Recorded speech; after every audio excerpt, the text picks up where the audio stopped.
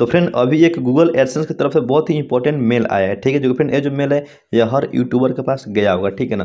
तो फ्रेंड अगर आपके भी पास ये मेल आया है, ठीक है? तो फ्रेंड अगर आप इसके बारे में समझना चाहते हैं तो फ्रेंड आप इस वीडियो को लास्ट रखना और हमारे चैनल पर नए तो रिक्वेस्ट है चैनल को सब्सक्राइब करके बेल आइकन प्रेस ज़रूर करना। तो फ्रेंड सबसे पहले हम जानेंगे इसमें लिखा है क्या, आप देख सकते हैं लिखा है site management in AdSense is changing ठीक है ना? फ्रेंड इसमें ये लिखा है और फिर इसको नीचे स्कूल की जगह तो आपको बहुत सारा डिटेल में कुछ यहाँ पे मतलब देखने को मिलेगा, ठीक है? बहुत सारा इसमें फीचर्स दिया हुआ है, ठीक है? और यहाँ पे इम्पोर्टेंट क्या लिखा है? Important we will make this change for your automatically after बीस तारीख तीसरा महीना दो हज़ार तेईस टू अप मतलब कि इसका पूरा डिटेल मैं हिंदी में करके आपको दिखाने वाला हूँ, ठीक है? तो आप वीडियो को एंड तक देखना। तो चलिए हम पहले सबसे पहले इसको हम हिंदी में करते हैं, ठीक है ना? तो यहाँ पे मैं हिंदी में करके यहाँ पे रखा हूँ। तो यहाँ पे हिंदी में करके रखा है, ठीक है? तो इसमें लिखा क्या है?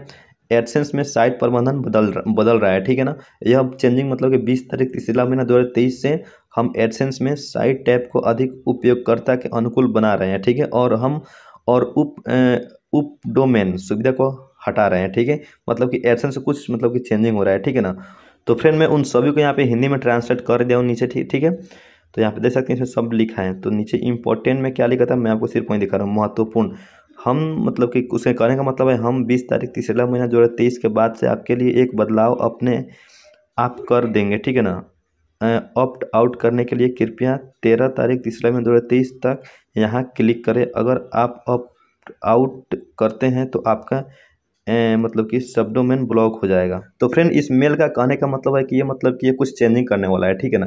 तो फ्रेंड ये क्या चेंजिंग करेगा और इसमें कहाँ क्लिक करके क्या करना है, वो आगे वाले वीडियो में मैं बनाकर आपको अच्छे से समझाऊँगा, ठीक है? तब तक के लिए आप वो वीडियो देखने के लिए आप हमारे चैनल को सब्सक्राइब करके बेलाइकन प्रेस ज़रूर कर लेना, ताकि हमारे आने वाले आगे वाले और भी नए वीडियो को देखने को मिलते रहेगा।